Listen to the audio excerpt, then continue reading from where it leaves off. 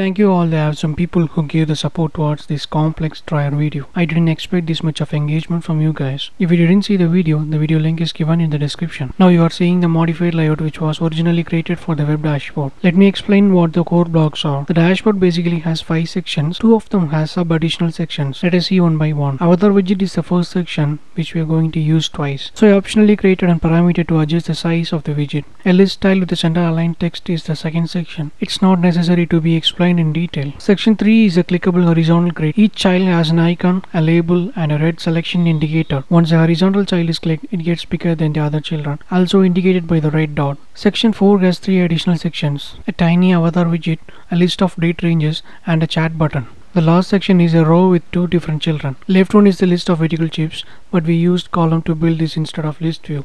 In case you want it to be inside a list view, you additionally need to set an alignment code. So I use cross-axis alignment.start to solve the issue. Finally, the colorful grid view. I use staggered grid view plugin to achieve this layout. Also, I dropped a video link to learn how it works. As the color grid has many objects, we use a separate class called interlaced event, which holds the color, starting time of the event, ending time of the event, avatars of the people who joins the event. When the ending time of the event is not given, we will show avatars next to the starting time of the event. Otherwise, avatars will be placed at the bottom. Hope you understand the core layouts. Source code is given in the description. Now you can start watching the video at 8x speed. Have a great day.